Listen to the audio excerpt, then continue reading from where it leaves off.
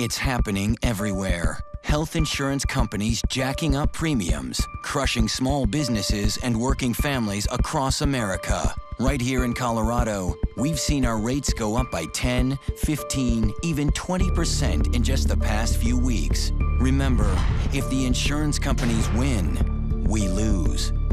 Tell Congress to listen to us, not the insurance companies. Pass health insurance reform now.